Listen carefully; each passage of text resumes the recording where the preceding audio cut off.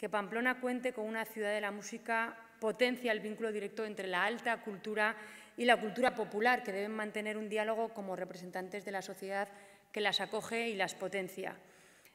Esta suerte, que tiene algo de utopía, se hace realidad a diario en este magnífico edificio, como ya decía el alcalde, vecino, por cierto, de una filmoteca, que convierte en Amendevaldea una referencia cultural en el epicentro de nuestra comunidad.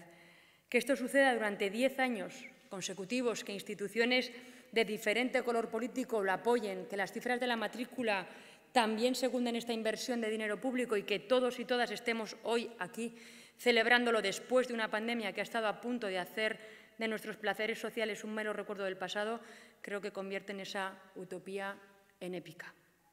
Como presidenta de Navarra, solo puedo felicitaros a todos y a todas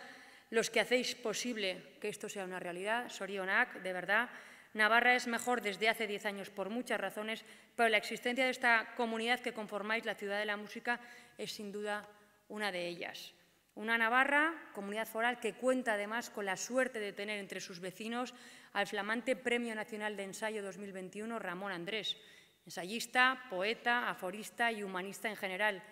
La obra que además le ha permitido este último galardón es Filosofía y Consuelo de la Música, un tratado de 1.164 páginas eh, que ocupa el pensar transformado en música, de los presocráticos a la ilustración, dicen los críticos. Una obra que aborda la injundia de esa manifestación artística, que no es solo una de las formas de expresión más elevadas, sublimes y fácilmente asumible por nosotros, sino que también, y cito directamente al maestro, quizás sea el arte que más interviene en el ánimo y, por lo tanto, el que más consuela. Y, sinceramente, no puedo estar más de acuerdo con esta frase.